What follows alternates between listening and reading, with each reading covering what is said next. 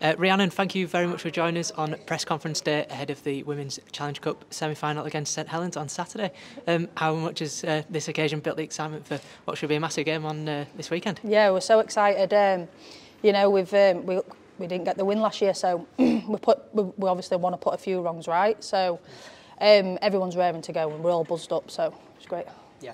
Obviously, this is the only trophy that's eluded the Valkyrie obviously, since yeah. yourself and Lindsay and the rest of the girls uh, joined the club. I guess, yeah, how much hunger is there to, to uh, lift the Challenge Cup this year? Yeah, no, we're, we're really hungry. Like, we're just, every, everything is about at the moment, obviously not, we don't we don't want to look past it. So um, everything's about this. So we're just like like I say, just sharpening our tools, keeping keeping everything positive, nice and um, you know nice and tight. So we're all, all a tight bunch. Yeah.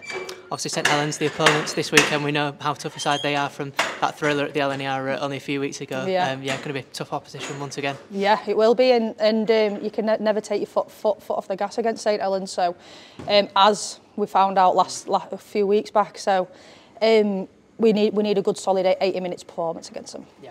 And I guess obviously if this fixture needed another storyline, obviously the heartbreak of the semi-final defeat to them, obviously at this stage in the competition last year, is yeah. that still fresh in the girls' mind? Is that oh yeah, about? yeah. We still we still watch it back and we're like, why did we why did we do this or why did we do that? But you know, you live and you learn, and um, you know, as a, as a as a group of girls, we've been to a lot lot of semi-finals and a lot of finals, and we've just missed out.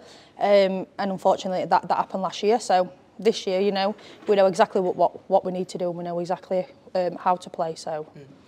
Yeah, Lindsay spoke about that, obviously that big game mentality, and she obviously yeah. praised um, the girls for that for their grand final performance. So you yeah. guess you're hoping to build from what you learned in that grand final um, heading into this weekend. Yeah, it's, it's, it, it, it gives you a bit a bit of a confidence boost, like knowing that that we can go out there and do it because um, we have always thought sometimes are we cursed because we keep winning leagues and we're not we're not we're not winning the finals, but you know it's um, it's having that that mentality of. Um, of being a champion. Mm. And that's what it boils down to. Some some people are champions, some people's aren't, some people aren't.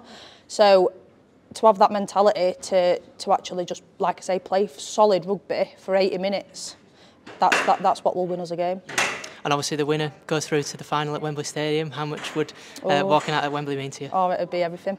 It'd be everything. I've said it, said it a few times today, and it's it's just every young girl's dream or young boy's dream. You know, everybody wants to go and play at Wembley Yeah.